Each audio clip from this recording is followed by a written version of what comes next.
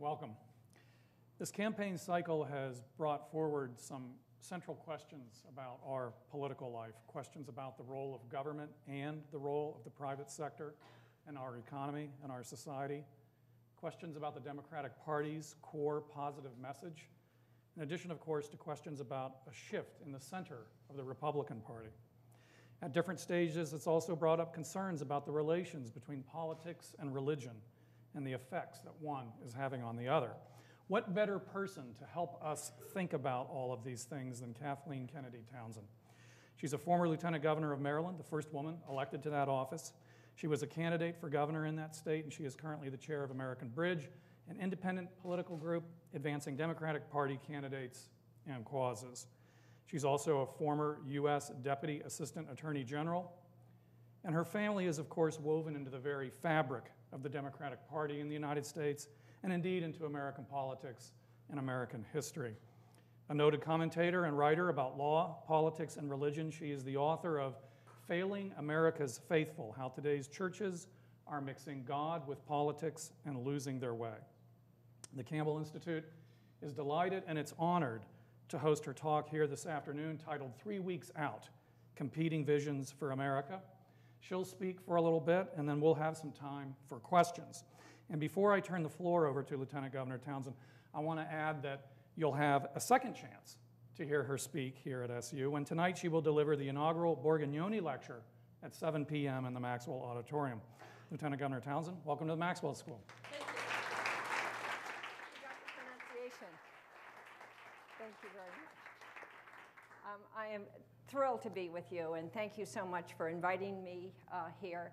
I have to tell you, I've always had a warm place in my heart for Syracuse because you didn't tell them, but as an undergraduate, I went to, um, to Radcliffe, which eventually became Harvard. Um, my mother could never remember the name of the college I went to.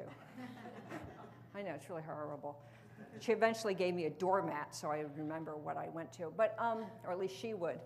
But where I went to college, they, wouldn't, they didn't believe until Larry Summers becoming, became the president that you could learn from anything outside the walls of Harvard University. And I actually wanted to go to Italy and study in Italy. And Syracuse has a terrific campus there. And so when Harvard wouldn't allow me to, Syracuse did. And for that, I'm always grateful. thank you, thank you, thank you. Um, so it, I, and I used to be able to speak Italian because of Syracuse, but that was many years ago. So I can't not anymore, but it was really terrific. You're, you're so lucky to go to this fabulous university that has campuses all over the world. Um, it's really a great, great gift. What I'd like to do today is really, um, I was, we were thinking about what would be the topic and thought two different visions of, of what America is. And as some of you can imagine, I'm on one side of the vision. So this is not going to be, I can't pretend this is going to be a balanced a fair and balanced uh, uh, description of what the two visions are, but I thought it would be interesting to at least talk with you. And I see there's students from abroad, and it'll be interesting to see what you think and how you feel about two different visions of really what is the role of government. Um, I think in America, we've always sort of been ambivalent about what the role of government is. And it comes from our very beginnings when we had the Declaration of Independence, which was a fight against government and we were told that each of us individually had the right to life, liberty, and the pursuit of happiness. And at that point, we were really focused on the individual freedom. What happened, as you know, we fought the war, won the war, and then formed what was called the Articles of Confederation, in which everybody was got, got to do their own thing. And that worked for about a couple of years, and it was a disaster. And the founders, George Washington in particular, said what you can do, you can have a, a rebellion that's about yourself, but you really can't form a country that's only about yourself. And therefore, they had the Constitution in which the words are, we the people, in order to form a more perfect union. And the whole idea is that we had to come together to form a government. And they understand that to be free, you need government. You're not going to be free in the wilderness. You're going to be free as a full human being in society. And that really goes back to the ancient Greeks. If any of you have studied Aristotle or Plato recently, um, which I'm sure you probably have, you see that they understand that to be a full human being, you need government to work and to be effective. In fact, uh, the Greek word for idiot, who, who knows that? Did you think I was just going to talk the whole time? like you weren't going to have to have any response? We didn't know we needed to know Greek. Yeah, you do have to know Greek. No, it's, it's very interesting.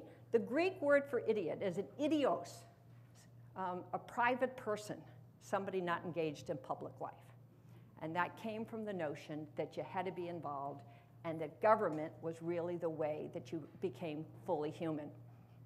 And really, if you go back, um, you know, nowadays, if you think of the words life, liberty, and pursuit of happiness, remember those words? I, I, I used them like two minutes ago. so now, if you think about what happiness means, most of the time in the United States, if you say the word happiness, people think it means money. Money. Good guess. Any, anything else that happiness could mean? According to me, it's, co- it's to feel content. It's to feel content. Okay, that's, thank you. You had money and contentness. Anybody else want to say what they think happiness is? What? Success. Okay. Power. Small firms. Small farms. Small farms. Okay. All of those are really interesting answers. but what I think what uh, they meant by the ability to uh, pursue happiness was the ability to get involved in politics. Because you remember, does that surprise you that I would say such a thing? because really, if you think about it, they had farms. They could be content. Some of them were very successful, but they didn't have the right to control their own destiny. Remember, the slogan was no tax, not no taxation, but no taxation without representation. If you've gone to see Monticello or Mount Vernon, they, uh, they actually had big farms. So the whole notion was that this country was formed on the basis that everybody should have a place to stand, to participate, to get engaged and get involved. Now, not really everyone. Women, remember, despite Abigail Adams saying, remember the women, they weren't involved. And obviously, slaves weren't involved. But we changed it because really, I thought this nation is formed on the basis that everybody should have a role and be able to participate, and that that's where you get your happiness, um, is really being able to control what happens in your life. I'm the oldest of 11 children, and so I'm accustomed to telling my little brothers and sisters what to do. And let me tell you, it doesn't go over well. Even if you're right, people want to control their own life and decide for themselves what to do. I have learned painfully over the years. I can also say that as the mother of four children. People want to make their own decisions. So that's our struggle. How do you have a country that, that, that really recognize freedom and the idea that you can have a, participate in government, or is government the bad thing and tells you what to do? And I would say that's sort of this division between the Democratic and Republican Party, and it's sort of a division all across um, politics in the world. Um, you get from one side, you have no government at all. Somalia, you could argue, had no government. Rwanda. Um, and you don't think people there are particularly free. You need a government. Or you could have a government which is really too intrusive, uh, like East Germany.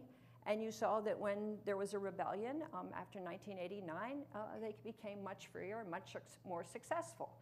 And so, really, the question that we have to look at is where do we want to stand? Now, I'll tell you where I want to stand. I come from a family that's been Democratic. You knew that. And let me just, I thought I'd, for those of you who, some of you know my family history really well, and some of you don't know it as well. Um, so I'm going to talk a little bit about that. Because one of the things you learn in politics is that why you believe something often comes from your family experience or your own experience. It's often not just an intellectual argument, it really comes out of how you see the world um, and how you think about the world and based on your own experience. So let me just give you a little bit about this. My great great grandfathers came over, and mothers, came over from Ireland. They were immigrants, and a lot of them basically they were supposed to go to New York, but there was a big storm and they ended up in Boston. They landed in Boston, they started um, in the North End, and they, there were 26 people living in one house with one bathroom. And it was, as you can imagine, it was Irish Catholic. So what was the business? A tavern, a bar. The Irish always ran bars. They got in a little trouble because of that, but that's what they did. And they did bars, and then they got involved in politics. And my grandfather, having grown up in Boston, um, because he, you know, 26 people in a house, they didn't have a backyard. And so what his, he was on the Boston City Council, and his first request, and the only thing he was really very successful at, the Boston City Council, was to say we should have parks in the city of Boston. Because he had played most of his childhood on the streets, and he wanted parks. And of course, the Republicans on the city council didn't want parks because they had backyards and they saw, saw no reason for parks. And that to me sort of epitomizes the difference between the Republicans and the Democrats. Somebody says, You got your own park, work hard, and you'll get your park, you'll get your backyard. And somebody says, Eh, some of us aren't so lucky, why don't we have a park for everybody? You're welcome to challenge me on any of my completely ideological statements, okay? I, I, just understand that what I'm saying may be offensive to a few of you. And, and so I, I, saw that you laughed at me at that, so I have to take that, I have to take that into account. Anyway, so that's a nice sort of simple difference between them. Then what happened is my, my, uh, my grandfather, Joseph P. Kennedy, grew up in Boston. He, uh, he married the daughter of the mayor of Boston, the, the man who had uh, got the parks passed. But he didn't really like being in Boston because when he was growing up, there were signs, as there were in many parts of our world, and whatever ethnic group you come from, that said, help wanted, no Irish need apply. And there was a lot of discrimination in Boston. Even if you, were, even if you won the mayor's office, you could be successful in politics and be really told by the business community, we don't want you. And so he got out of Boston because there was such discrimination against him and the Irish Catholics, and he moved to New York. And as some of you know, he made a lot of money, very successful. He was one of the most successful businessmen in the 20th century. And he always said, I would give half my money back to this country so that the country could go forward. Um, it's better that I have less and that others have more so that we have a good country in which everybody has a role. Got that? Now, that is what Democrats believe. that's really a different, that's a different philosophy. And in fact, I, I, really can't just criticize Republicans on this. A lot of Republicans believe that too at that time. Um, during the Great Depression, for instance, um, J, um, Herbert Hoover raised the tax rate for the richest uh, to up to about 80 percent. When I was growing up, the tax rate in my family was 90%. Do you realize how high that is? I, I, I think I want to let you sink that in, you know, 90%. And now we're, I say that because I wanted to show that there was a different vision of how a country works, that everybody's in this together and the rich pay more because you want everybody to do well. And that was sort of shown not just in the tax rate, uh, it was in the Social Security that was passed in the New Deal. It was in the Civil Rights Act that was passed when my father was president, and in Medicare and in Medicaid. I remember when my father was the United States Senator from New York. And we lived, as you can imagine, in a really nice house. With low, big house. In fact, my mother doubled the size of the house. We had so many kids, 11, that's a lot. It is. I mean, you know, I'm just telling you, it's a lot of kids. I guarantee you. Anyway, you know, but, and I remember my father had gone down to Mississippi and he came back because he was doing hunger hearings in Mississippi and he came back to our house. And if you walk into our dining room, it's a big dining room, it's sort of as big as that part. And there's a crystal chandelier and there's, you know, it's lovely set linen on the table, lovely crystal um, glasses and uh, China and people who made the, you know, we had somebody who made the dinner and somebody who cooked the dinner. I mean, I'm just trying to tell you, it was a nice, nice setup. And I was just happened to have been alone because it was right before dinner. My father walked in and he looked really shaken. And he said, Kathleen, I've just been to Mississippi and I've seen a family that lives in a hut the size of this dining room. And the children have distended stomachs uh, because they don't have enough to eat. And they have sores all over their tummies because they have no doctors. And he said to me, Do you know how lucky you are?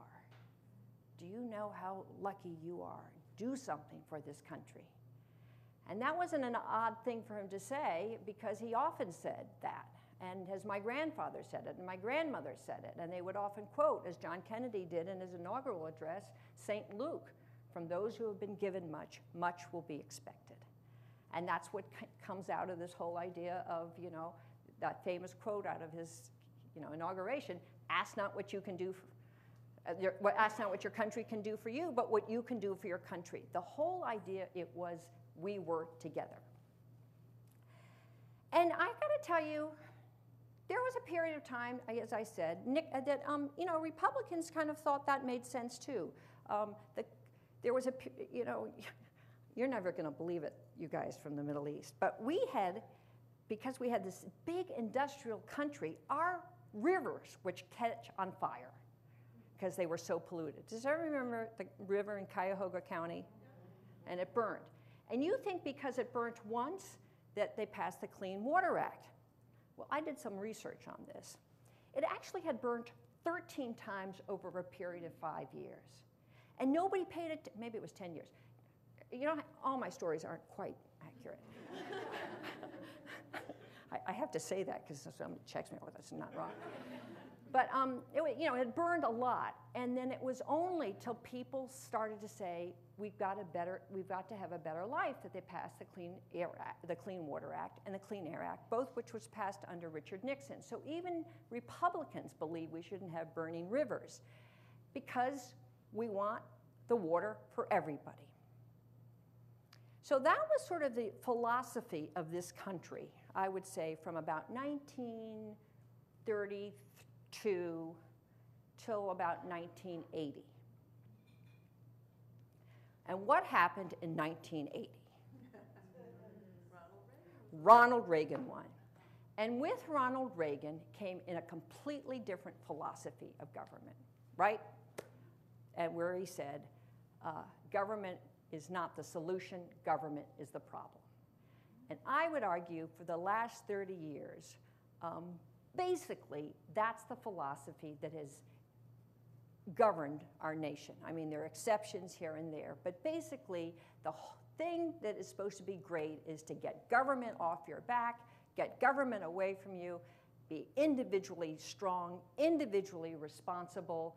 Um, there was a philosopher, which I'm sure many of you have now heard of, unfortunately, Ayn Rand, who kept thinking it's all about you, the strong individual nobody telling you what to do. And that has really dominated our politics. And it dominated our politics not just because it's right, far be it from that. It dominated our politics largely because in around 1978, uh, Justice Powell, uh, who was then the head of the, he was no longer, he was not the justice then, he was head of the Chamber of Commerce in Richmond, Virginia. And William Simon, who was, uh, I think it was Nixon's Treasury Secretary, got together and said, We have got to get back to capitalism and individual and, and belief that wealth is important and we've got to change the philosophy. And they funded lots of think tanks like AEI and other think tanks around the country. And it was a big change. I, am telling you this, and I'll just give you my experience. I, as you heard, where I went to Harvard, my class had only three people apply to Harvard Business School. Five years ago, I would say 30% of the class applied to Harvard Business School. So there was a, so when I say this to you because it just shows you that philosophies can shift and what is good and what is bad can shift depending on how you see things. And it shifted. And basically, what happened is basically people started to say, let's deregulate, let's get rid of government, let's shrink government, let's, let, let's, and freedom is getting away from government. And you saw what happened. Um, it, you know, Clinton, who was a Democrat, deregulated the financial industry. I mean, and he now says he made a mistake. But when a philosophy grabs you, it doesn't matter whether you're Republican or Democrat, it grabs you and it takes you and it shapes you, which is just what happened. And so we've had the biggest financial collapse um, uh, since the 1930s, since the Great Depression in uh, 2008. And the country was just in dire straits and they didn't know what to do and they were just desperate. And so they would have chosen anybody that didn't be, have an R behind their names because he wasn't Bush. And so they chose Barack Obama. It's almost unbelievable that in any other time you would have had Barack Hussein Obama elected president of the United States because it was just so, he came from such a different background, he was African American, and, and who knew that that was going to happen? So it was very exciting, but it came because of the economic collapse. When people ask me why I thought he won, I give lots of credit to um, Hank Paulson, who I do, because he let Lehman Brothers collapse. That was a mistake. That was Hank Paulson's mistake. And he let it, coll- he let it collapse, and then people just lost all faith, and they didn't know what was going on. So now I'm bringing you up to the present day, okay? Did you get that? Little history. I thought that was helpful. Um, where I come from, in case you couldn't guess. So I think in the present day, you've got now two philosophies of, of how we go forward. Um, you have Barack Obama on one side, and I, I, said I would talk for a half an hour, so I have a few more minutes. Um, Barack Obama, who believes in government, and he's clear about that. And, he's, and he would go back to the idea of that government makes us free. We are freer when we, are, when we don't have to worry about health care. We are freer when we don't have to worry that our auto industry collapses. We are freer when we don't have to worry about our housing prices. And that's a different view of freedom than the Republicans. But I got to tell you, I just, um, you must have some of your students go to Europe and go to Denmark. My daughter was in Denmark. I have four daughters. Um, and the youngest is just graduated as a senior in college and she went to Denmark on her exchange. So, do you want to hear about Denmark? Obviously, you're going to. they have free health care. They have, they pay the kids to go to college. They have much better upward mobility than does the United States. They have a longer life expectancy than the United States, and they pay half, in, half the cost in health care than we do. They also pay much higher taxes, and they have been judged, and you don't have to believe this, the happiest, at least Copenhagen, the happiest city in the face of the earth. So that's one vision. Now, Barack Obama is not going to make us Copenhagen because there'd be such rebellion, but I'm telling you, it's a pretty good deal. Um, and then you have Mitt Romney, who has a different philosophy, which is basically help the rich. And that's what his, I mean, he was, he's going to give tax cuts to the wealthiest uh, Americans. He's going to reduce the taxes for the wealthiest Americans. He's going to, and he, has, and he has said, as you know, I mean, probably regret saying it now, that 47% of Americans um, don't pay income taxes. Isn't that terrible? Um, but if I actually, because I'm chair of this uh, independent expenditure campaign, you can see what the Republicans say to each other. Paul Ryan says 30% of Americans don't work and are just takers. So they have so their philosophy it comes out of the sense of what is good and bad. The workers, the builders of the country are those who run the businesses. They're the most important people. They should be rewarded. The rich should be rewarded. And that's what we're going to do because that's what makes our country strong. Now, I don't believe them. And I'll tell you really why I don't believe them. I don't believe them because, and I would just want you to think about this, and then I'm going to stop and we can have a discussion. At what point, our business leaders really cared about America. They cared about this country. I'm sure, I don't know all the people who endowed Syracuse University. But a lot of business leaders did because they wanted Syracuse to be strong. And that's because if you look at what happened in the 19th century in this country and the, and the 20th century, at least to the middle of the 20th century, jobs were created in the United States by Americans. Corporations had jobs in the United States and they, and they sold their products to Americans. Their clients, their customers were Americans, and their workers were Americans. And that's not the case now. Many of their clients or their customers are abroad. Many of their workers are abroad. I actually said this to Jeffrey uh, Sachs, who's a great economist who helped to uh, save the economy of Peru, and he said, Yes, a top CEO of Fortune 100 country company said to me, It's a little embarrassing, but we really don't care about the United States anymore. Because our constituency is worldwide. Of the 100 largest, corpora- uh, largest economic entities, only 50 are nations. The rest are corporations Apple, Google. And so their loyalty is not going to be to their country because they're all over the world. And so you have a rich class, a wealthy class. One of the biggest donors to the Mitt Romney campaign is a guy called, what is he? God, I can't believe I can't remember his name. He's such an evil person. That's not really true. I can't say that. That would be wrong. Sheldon Adelson. Where does he get his money? In Macau. All his money comes from gambling in Macau, and he's putting all the $100 million in this campaign. Why? Because he wants a $2 billion tax break. Mm. And George Soros is the biggest contributor to Barack Obama. Where did he get his money from hedge funds? From hedge funds, absolutely, from bet- betting against hedge funds. it's- it's- They're on both sides, yeah. Although he is betting, he's betting against his interest. He has said taxes should be raised on the rich. Sheldon Adelson hasn't. Now, in one, in the top one percent, pay thirty-nine percent of all taxes. Yeah. Top one percent. They pay with 30, but, and how much of their wealth do they have?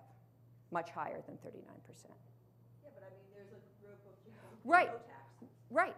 So the point is, The question is, is that I think, I think what you talked about, what you said, uh, Kathleen, Catherine, thank you, um, is not that the Republicans don't want government, it's just how much government. So I think the question is not that they don't want any government, it's how much government. yes. That's why I said there's a, I said we're really, we're not Somalia. We're not Rwanda. But where are we? And how, and do you care about the country? Because what you can think about is this. You could say, okay, it's the end of the nation state. And so everybody should just take care of themselves because it's the end of the nation state. What does it matter that we don't have good airports or good railroads or good highways or good schools? Because I can get my work done elsewhere. And and that's the Davos, you know, that's the Davos culture. You feel comfortable with the very few people who can travel all around the world and be in your economic status. Or you could say, which is what I believe, obviously, is it really does matter if America thrives and survives. And if you look at history, there was this great article just yesterday in, um, in uh, the New York Times about Venice, which was the, in the 15th century the most vibrant economy going. It was, have any of you been to Venice? It's totally cool. But it was vibrant, it was rich, it was sailing, it was doing stuff. And then, because it was an open economy and it was letting anybody in and everybody could get in, and then it closed it. And it just made it for the few. And it collapsed within 200 years. And I have a guy who works with me. Um, I actually work in a financial firm with hedge funds. And the um, guy from China says the same thing happened to the Chinese. The rich just wanted to protect themselves and not the whole country. And we never had, uh, well, the last time we had this sort of this group on the top was in the, th- in the 20s. And the question is Do you say to the people, we all participate, why should the richest not pay a higher tax rate in order to make sure that we have enough education for everybody else or good enough health care for everybody else so that everybody rises, not just the few? That is my, obviously, you know, that's my view. Probably not surprising to many of you. Um, and I think that we've got a really big decision in this campaign between those, I mean, as you say, it's not no government versus all government. Barack Obama is not asking for East Germany. Mitt Romney is not asking for Somalia. But the question is, what is the best balance? How do you get most people to be free? How do you get the most to be able to control their lives? And I would argue, with good education, with health care for all, with a good transportation system, and with the ability to say that everybody can pay their fair share of taxes, not just, um, uh, and that everybody should pay their fair share of taxes. So that's what I hope you agree with me on. Thank you very much.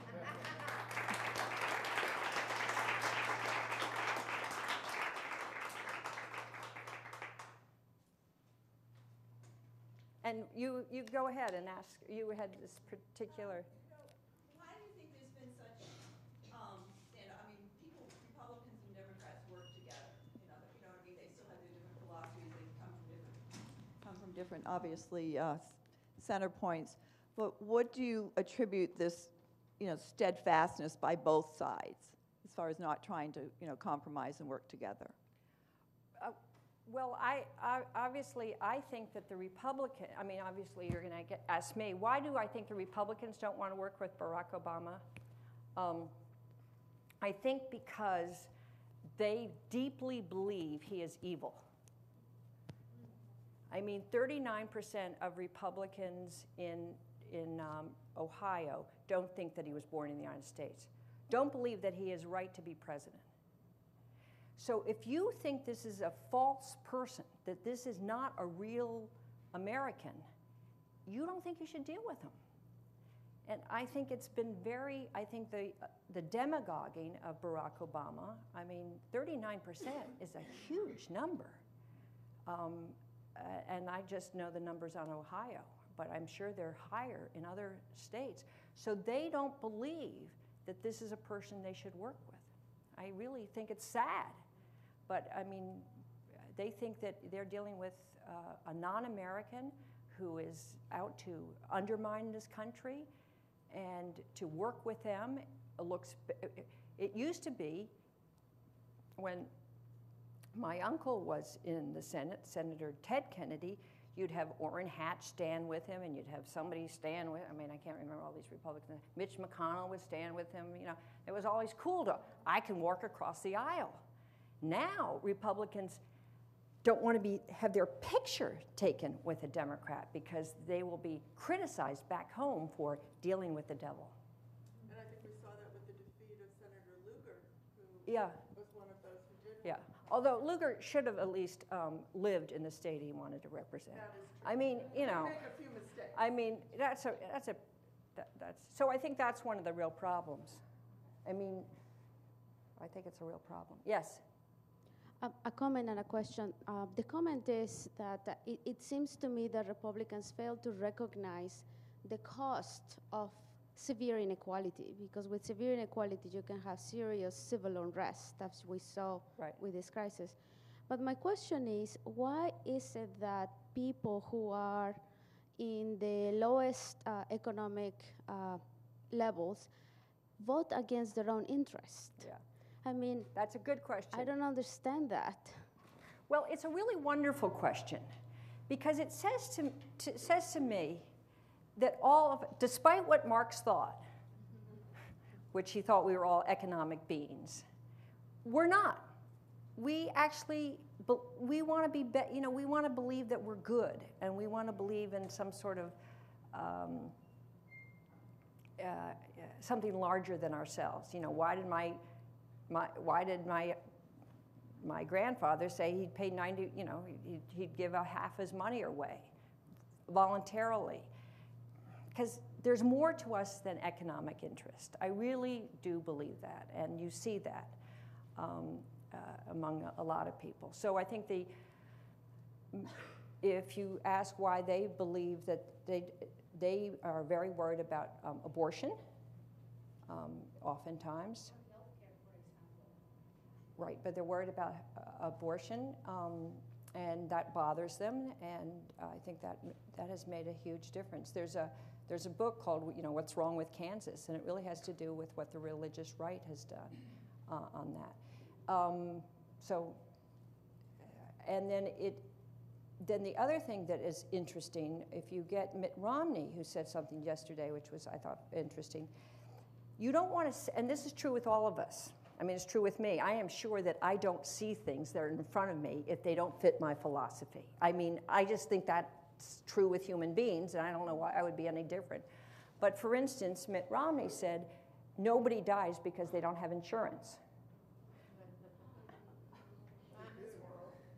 I mean, it's, it's, it's, it's almost, you say that to yourself because you don't want to admit that people need insurance. Um, so that's one of the, one of the challenges. Um, one of the challenges, that's why I really believe that more important than, and I wish facts mattered, um, and certainly they should matter, but what it turns out is what we see matters. Our philosophy turn, gets us to see certain things. And if it's, it's how we, it's our view of the world, and our view of the world is often, I must admit, um, you know, our own financial interest can make a difference. Yes? Uh, thank you very much for your presentation. Uh, this is Ali from Turkey. Uh, I really uh, wonder that uh, there's a big discussion uh, on the media or international arena regarding the, the Barack Obama is Muslim or not. this is, do you believe that the, this, this, this identity is important or this is strategy of the Republicans before the election? Could you explain? I couldn't hear you very well. What is Yeah. the, Uh, the there, there is a big there is a big discussion. You're from Turkey. Yeah, You're worried about Crete? no. He's asking about ethnicity and being a Muslim, when, does it change anything? Okay, there's a Oh, there's an international it- it- discussion there's a uh, about the uh, Barack Obama is Muslim or not. This this is a strategy of the Republican before the election. Well, uh, sure, a lot of people. I mean, if you're asking, again, I, that was my story about Ohio, that they thought he was a, a bird, you know, he wasn't born in the United States. Huge other numbers in other states think he's a Muslim, that he's not. First of all, that shouldn't matter, right? It shouldn't matter. But the fact that, that it does matter to a number of people is very unfortunate. Um, uh, yes? As your, when, you know, John Kennedy ran Yeah. he was a Catholic. Yes. That was a big deal. It was a huge deal. Big deal, I mean, a lot of people said, I'm not voting for a Catholic because the Pope is going to rule the United States. You- Absolutely. In fact, you may not remember know these names, but thank you for bringing that up. There was Billy Graham. How many of you heard of Billy Graham? He wrote a letter mm-hmm. with Norman Vincent Peale, who you probably haven't heard of, but He was, for- he, but no, he was here actually. Norman Vincent Peale served in Syracuse at University Methodist Church. yeah. Okay. Well, We. Norman Vincent Peale, who wrote one of the most biggest bestseller called The Po- Power of Positive Thinking, wrote a letter with Billy Graham saying, "Don't vote for John Kennedy because he's Catholic." So it was just as you say, there was a huge uh, anti John Kennedy, and John Kennedy and most Democrats never win the Protestant white vote. They just they don't trust him. They don't trust. So that it's, it's so the so I think we've come a long way. I, what I think is really interesting about this campaign and, and positive about this campaign is how little has been made of Mitt Romney's Mormonism. Um, and, you know, people used to think that was a you know, religion they didn't trust, and yet you now have these, the evangelical Christians who are supporting Mormonism.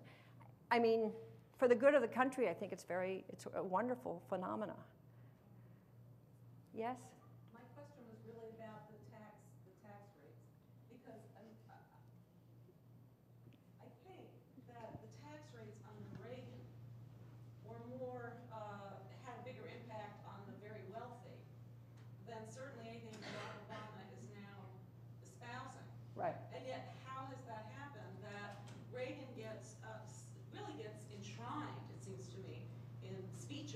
but there's no recognition that whatever the heck else was going on, he was taxing people with money at a very, di- in- in much, much more I think what we really, I think there are two answers. The answer, first, uh, the economists would say uh, it's not the tax rate that matters, it's reducing the tax rate that matters. So, in other words, the more you reduce it, the better off you are. I mean, it's crazy because you go to zero and there's no taxes. Um, I think the other thing that is really going on, and I think there's this philosophy, and there was this great article in the New Republic about this, that the rich want to be applauded for being rich. Like you're better and smarter and ter- more terrific because you're rich.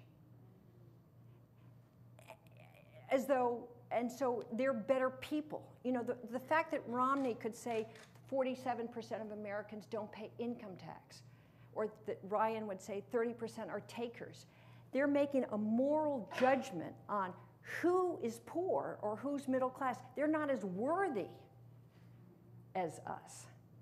And so I think the tax rates have something to do with the economy, but more to do with who we want to pat on the back with a ribbon. It's a really, it's a different notion because what that philosophy has come up with is we, to be rich is to be wise and smart and better, which was not the philosophy of our founders. I mean, who said small farmers? You did, sir. You, of course, he was quoting Thomas Jefferson, who wanted us to be a nation of small farmers because he thought that as, if we were all small farmers, then you wouldn't have one group more powerful and rich than the other. And, and that, that's, that's why he thought small farmers was happiness, because he didn't want one group bigger and better than the other. And that changed. I think that just changed a lot. But, but it doesn't have to, it can change back, yes, we hope. Yes. Got a question here, and the one thing I'll just interject is that for the rest of you, if you put your hands up, and Bethany has the uh, microphone, she'll bring it to you, and our reason for wanting to do that is we want to be part of the, the, the record of the conversation, so go ahead. Um, How do you gear your action to reaching out to the most conservative and most opinionated Americans? How do I try to reach out to the most? yeah. Well, it, th- there's one, usually, if you ask me as a politician, I wouldn't bother.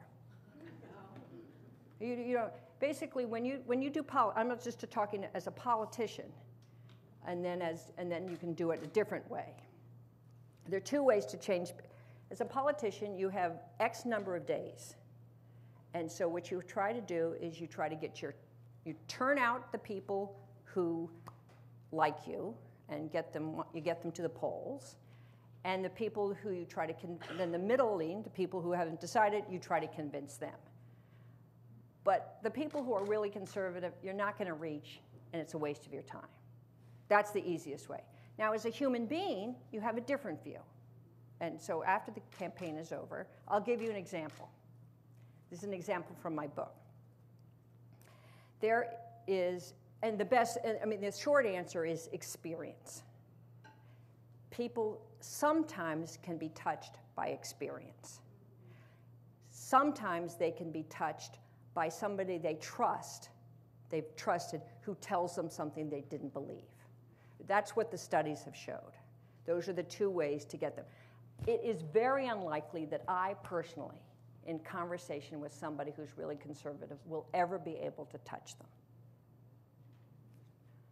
Just human nature. Uh, You can go back to Tolstoy, he has a great quote about that. But um, should I tell you my story? Why not? So there was this minister um, called Rick Warren. You may have heard, he wrote The Purpose Driven Life. And he, belie- he for, for many period, 25 years, he believed, well, you probably hadn't heard of it in his first part of his career, that if you had AIDS, you were condemned by God. And you were a sinner, and you were going to go straight to hell. And, and you, you got AIDS because you had sinned. Okay? So that was his philosophy. He had a wife who believed it too. And then one day, there was a picture on the cover of Time magazine of children, babies with AIDS.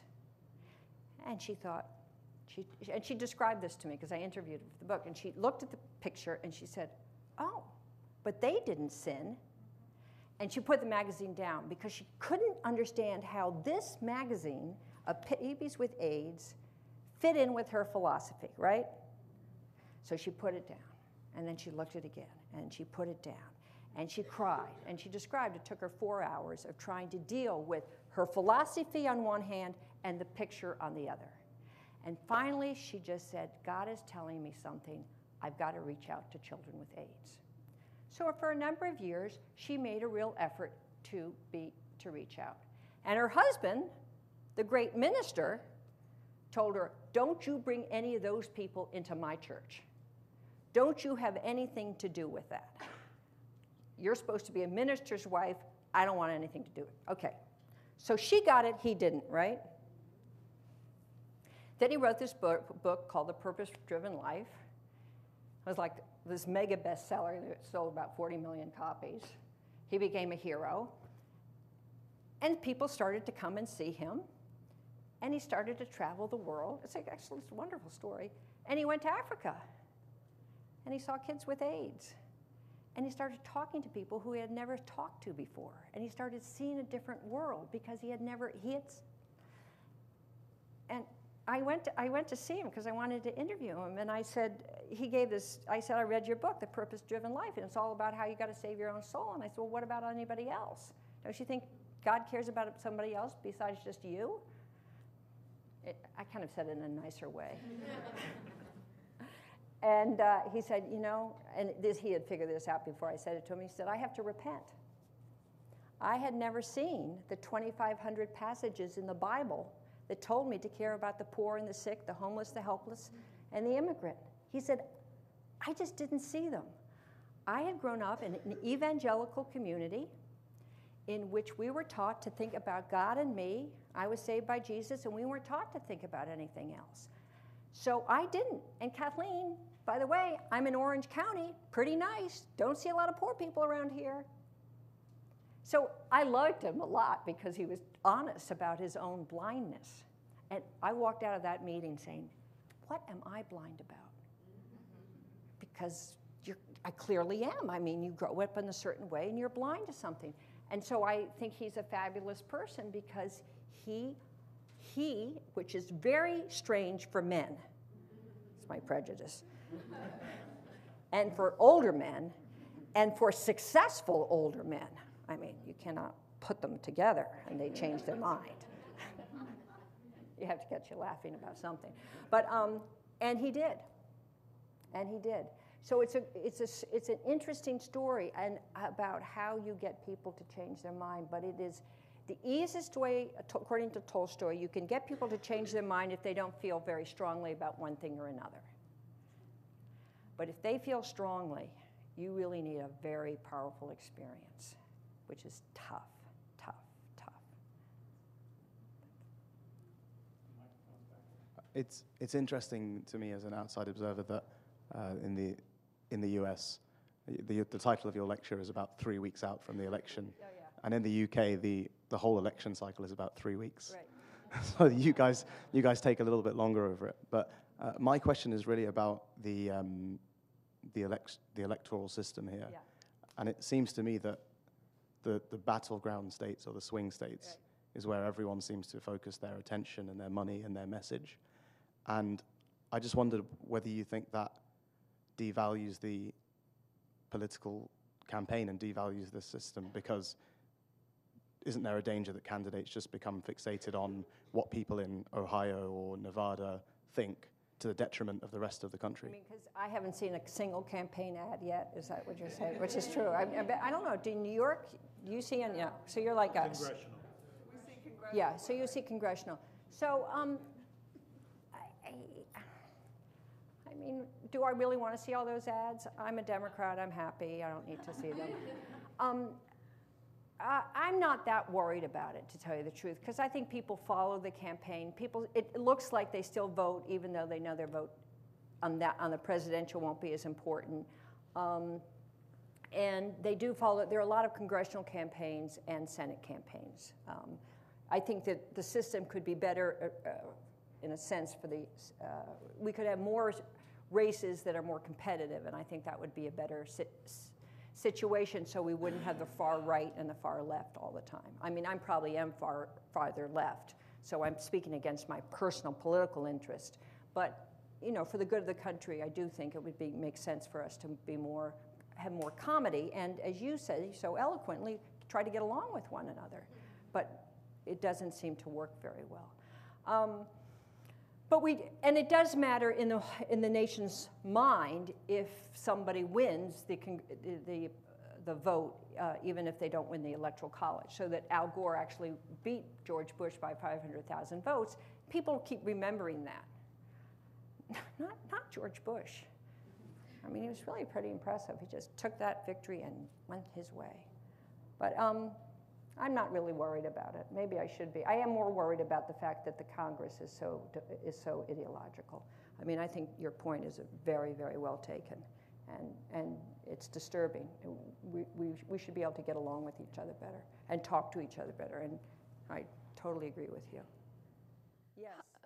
Hi. Um, sorry, I lost my voice. So, um, my question is about um, uh, why do you think Obama is not able to gain as many uh, young voters as he did in the 2008 campaign? And how do you think that's going to affect his numbers in this upcoming election? Will he be able to grab those numbers elsewhere? Or, um, in your opinion, what do you think is going to happen? You know, it's always fun to be the challenger. I mean, if you read, it's like the Declaration. Remember, I start. I don't know if you were here at the beginning of my talk. You know, the Declaration of Independence, it's so eloquent. You're fighting the good fight. You're going to create the revolution. You're going to do something new that has never happened. Doing is a lot of work, and it's not so easy. And if you are in a culture that says get things done easily and get us answers quickly, people get disillusioned. And I think it's unfortunate, but it's the case. That's, I mean, that's just the easiest answer. Um, do I think he's going to make up the, the young vote? No, I don't think he is. I think it's going to be tough. Um, I think it's a, it's a much closer election than it was four years ago, and, and it was, it's a closer election because, number one, we've had a terrible economy. I mean, it's now, you know, finally, or, you know, we're not creating as many jobs as we need to for everybody to have a job. It's just, that's the facts. Young people know that. They're worried about their future. And the Republicans have huge amounts of money because of Citizens United, as I said. You know, I'm chair of one of these independent expenditure campaigns, but out of the $407 million that's being spent, 70% is from Republicans. And I mean, they're just they can put a lot of money into it. And, you know, money, I mean, it goes to, how, if, if you go to, you know, how, what, how do you believe? You can say, you can find pretty negative things to say about anybody. It's, it's unfortunate, but that's, I think that's the case. And I would also say that when he ran four years ago, he did not make the case that this was going to be an eight year struggle. Because remember, Lehman didn't collapse until September. So he was running sort of a hope and change when the economy wasn't in such trouble. If he, if he knew what he was getting into, which would have been hard to know for nine months, I think his message would have been, this is not going to be, this is not going to be done in the first year or the second year or even in the first term, but let us begin. I heard that somewhere. Yeah, I know. I'm quoting John Kennedy in, from his inauguration speech. Because John Kennedy knew that if you're going to try to fight communism, it's going to be a long twilight struggle. It's not going to happen overnight. And Obama didn't, I just don't think he had any idea what he was getting into. And clearly, the economists around him didn't know what they were getting into because they said, you know, do the stimulus and would be below 8%. Clearly, they weren't. And they didn't do it, they just didn't know. Yes. Yes, I'm Rima from Jordan. Yes.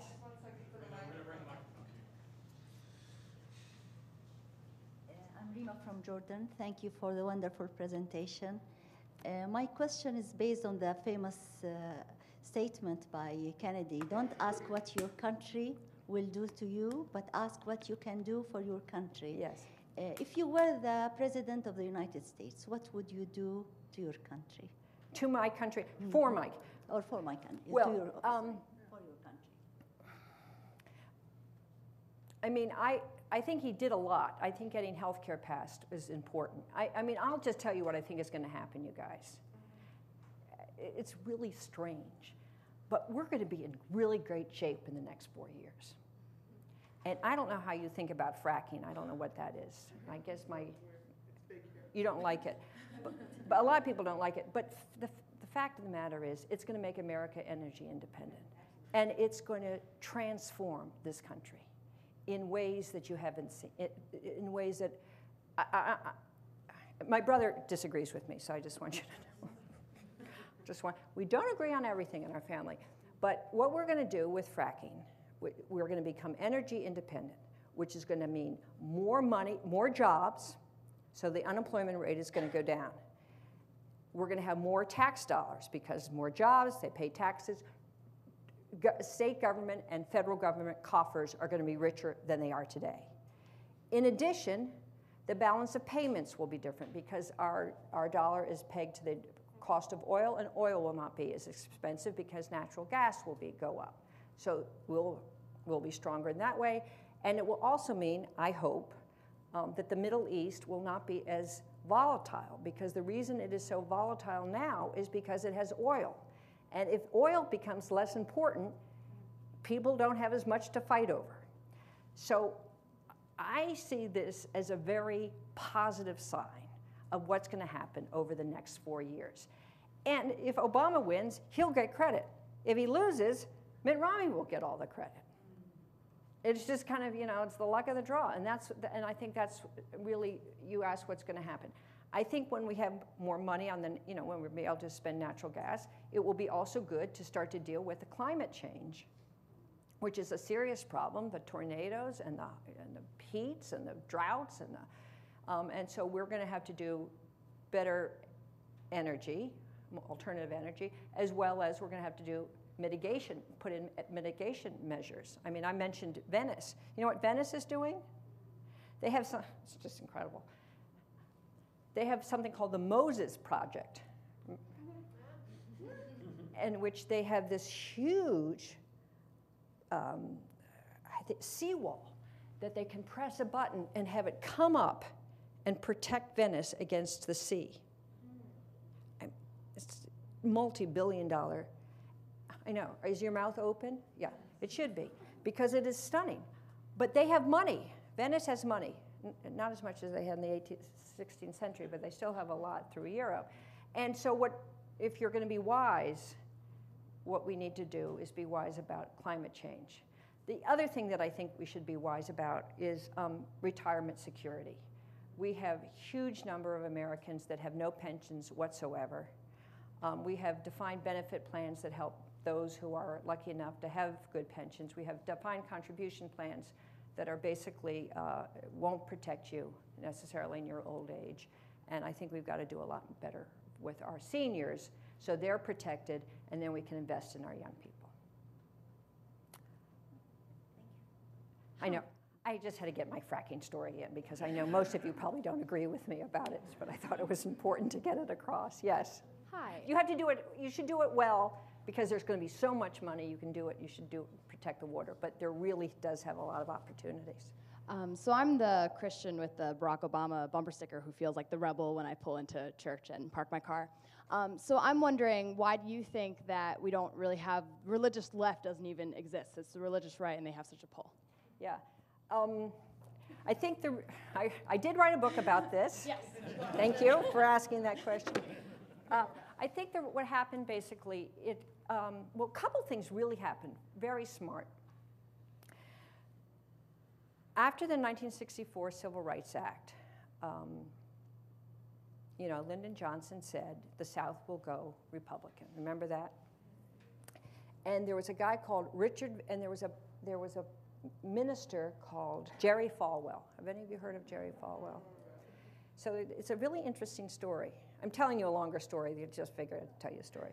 So basically, Jerry Falwell, when Martin Luther King was um, working for civil rights, Jerry Falwell said, ministers should not be involved in politics.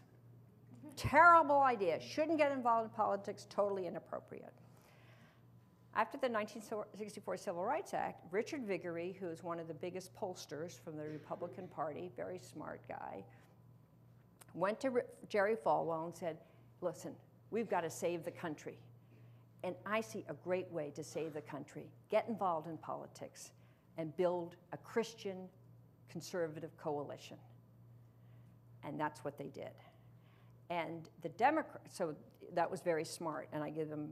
And one of the things they did, which the Republican Party did this, this did not come out of the Southern Baptist movement. The Republican Party decided, and they had a 10 year plan, very interesting. The people from the Middle East are going to look at me like, what the heck are you talking about, Kathleen? But anyway, so there's, there's a theory called the inerrancy of the Bible, which says everything in the Bible is right, is true. Not what the Catholics believe. As you know, Catholics didn't even read the Bible. I mean, my mother was prohibited from reading the Bible when she grew up. So, you know, it's a different deal. But if you're a Protestant, you read the Bible, and you were supposed to use some thought when you read it. But the Republican Party said, we're going to make the inerrancy of the Bible um, a tenet of the Southern Baptist Convention. And we have a 10 year plan to do that. And they did, and they succeeded. And if you make inerrancy of the Bible a tenet of your faith, that means you reject science, you reject evolution, and you become just very, very conservative. And they figured out to do that through, their, through the churches. Okay, so that's, they were smart. The Republicans win many kudos for being smart about how they capture the churches. The Democrats were terrible. Just, I wrote about this in 1980 because I was so mad at them for letting Jerry Falwell take the faith thing. And I said, Democrats, every progressive movement in the United States, with the exception of the feminist, of the, 19, the late, the feminist movement and the gay rights movement, had a, had a religious underpinning. And if you needed to have a pr progressive movement, you needed to have your faith. And they've made a big mistake for deserting it. That's changing now, and I can go into detail how that's changing, but they just deserted it in large part because the intellectuals didn't like Martin Luther King. I mean, now Martin Luther King is a big hero, but uh, there was a period of time where he was considered weak, turning the other cheek. Who wants to turn the other cheek? You should fight, black power. And basically, the feminist movement and the gay rights movement came out of that view of anti faith because it's too soft and we're going to be tough. I've shortened the history a lot, but that's it, that's it in a short nutshell. Yes? Yeah, yeah, that's right. I, I, will t- I could talk about it forever, which you will just like die. Do you think the economic crisis has pushed both political parties to like the furthest left and right? And if you do, what do you th- what circumstances do you think are required to bring them back to the middle? No, I don't think the economic crisis did. I think the, I think it came out of faith that really split the parties. And then what circumstances do you think are necessary to bring the, the parties back to the middle or closer to the middle? Well, one way would be to change the redistricting situation and have redistricting done by um, uh, a non, uh, by uh, an independent group, which is, for instance, what they do in what they've done in California under. I, I'm now going to praise my ex-brother, cousin-in-law, Arnold Schwarzenegger. Must be hard. Well, you know, he was really good to me. He wasn't very good to my cousin, but he was nice to me. No comment, I can see. Where is she going to go now? um, he basically passed in California, kind of interesting, an independent group that would do the redistricting, and Democrats and Republicans, uh, the, the, the, runoff would not be between a Democrat and Republican, it would be the two top vote getters. Do you see how that changes it? And so there's no need to move left and right. What you're really trying to do is move to the center. So you have, you know, it has succeeded now in having two Democratic congressmen coming to fistfights the last debate. So it might not be the best solution. But really, you have to change how people get elected and where their base is. And their base now is so different. How do you talk about um, the Repu- how do you talk to Republicans about this idea that um, small government is state-run? Because it seems to me that things would get a lot bigger if every state has to decide on every issue and policy. The state government can grow a lot bigger. Yeah. So wh- talk to, about the concept of big, small government. I think it's a false ar- I don't think they really care. I mean, what do I think they really care about? I think they care about their tax breaks. I mean, when, when Cheney got in and they put up, look, if they really cared about government, this is what they did under the Bush administration. They started two wars and they passed a huge increase in the Medicare benefit, right? And they didn't pay for it. They didn't raise taxes, they just borrowed it. So they were happy to increase the cost of government, and they did a tax cut.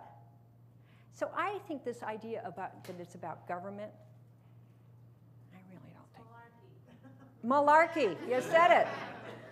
I know, I started off my talk by saying this is about, but I really think that if they really cared about government, I mean, if you really cared about the debt, you'd tax the rich and say, get rid of, help get rid of the debt. And you tax other people too. You'd say, our country matters. We all pay taxes. Do you think everyone should pay taxes? I, I think most people do pay taxes. You know, they, they pay Social Security taxes. For instance, Well, if you're, if you're below a certain level, you get a check from the government. You're the earned income credit. Right. Basically. Do I think it's better if there's a way that everybody feels they pay taxes? Yes. Do I think that would be good? Yes, because I think everybody should feel that they have a stake. And I think taxes are one way. But everybody does pay taxes. They all pay in, um, sales tax. I mean, everybody does, in fact, pay sales tax. They pay That goes to the state government. I'm talking about the federal government, the federal government. Right, the state government. Sales right, but you pay gasoline taxes if you pay, and they, some of the federal government. I mean, you can, you could come up with a fairer system, but like, I- do you know, I bet many of you don't know this, the social security tax, you know, it's a percentage. If you make over $110,000 a year, you stop paying social security tax. It's, You continue to pay the one point four five Medicare tax. you wait, No limit. yeah. But in other words, you could have a more, which I think you're right about, you could have a much more transparent and fair tax system. And I, th- would I, do I think that's a good idea? Yes, I think that's a good idea.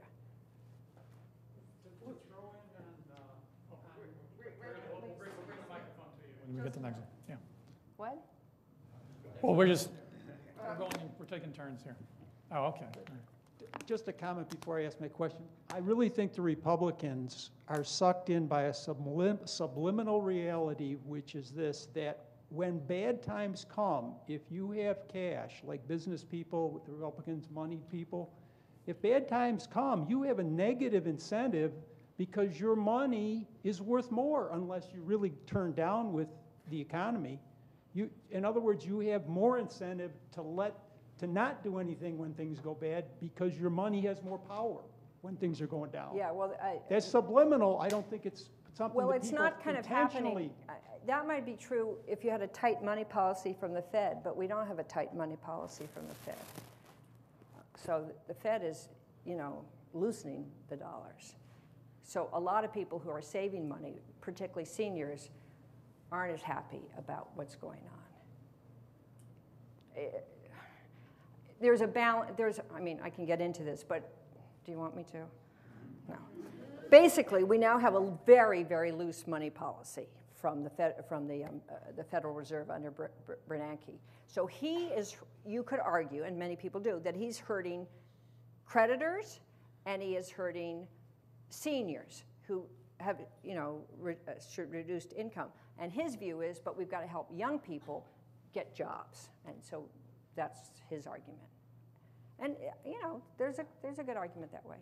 Okay, That, that was more a comment on, on that discussion, but my question is really, how do you philosophically justify the huge number of people who are on food stamps? And, and I'm saying that, having seen as 12 years an organic farmer, the erosion, both the lack of uptake of people willing to spend more organically. It's like 1% of people are regular organic Yeah. buyers.